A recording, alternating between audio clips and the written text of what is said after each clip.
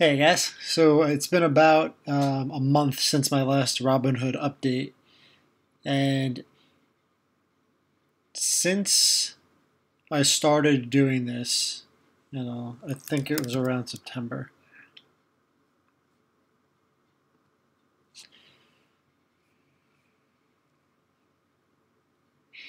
So my first video was September 10th.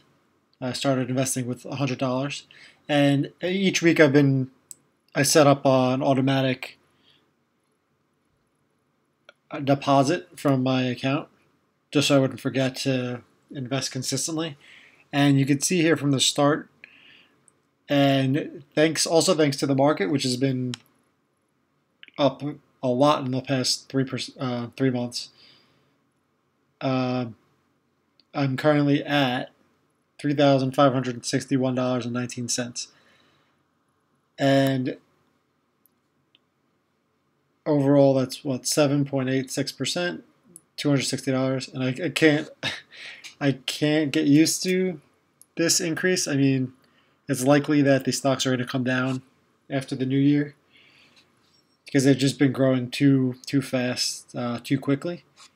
But again I'm investing for the long term dividend stocks and since I started and I've made sure to just invest just so I can remember how many dividends I got total.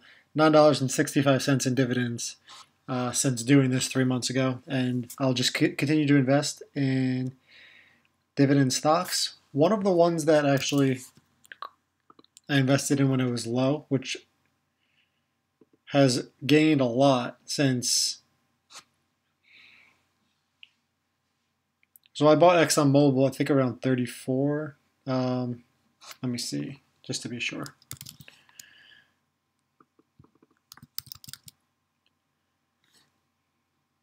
Yeah, so it was around like thirty-four dollars when I bought ExxonMobil. Now it's up um, to 40, 44. So it looked for a while like the stock was just going down, and I, I really didn't think it was gonna tank, or if go, they can't couldn't go out of business. I think they're they're too big to fail. Um, you know, I could definitely could be wrong, but I took the chance um, just because they're paying such a high dividend. It was like ten percent or something like that. Now it's at like eight because the stock price has gone up.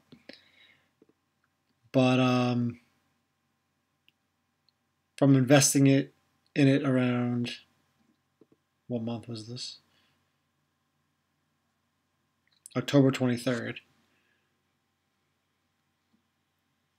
Yeah, so it was around $34 and now it's all the way up to, to $43.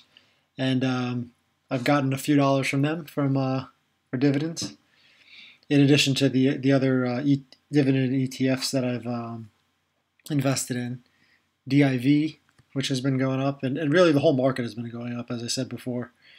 But this super dividend fund is a eight percent yield, and um, yeah, we're just looking pretty good. So I'll continue to invest each week uh, and see how how far we can get. Uh, let me know if you have any questions or comments below.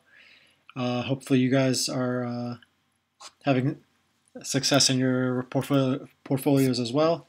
Uh, if you haven't started one, you could start with any amount of money and you know just add some dollars each week, and you could watch it grow over time.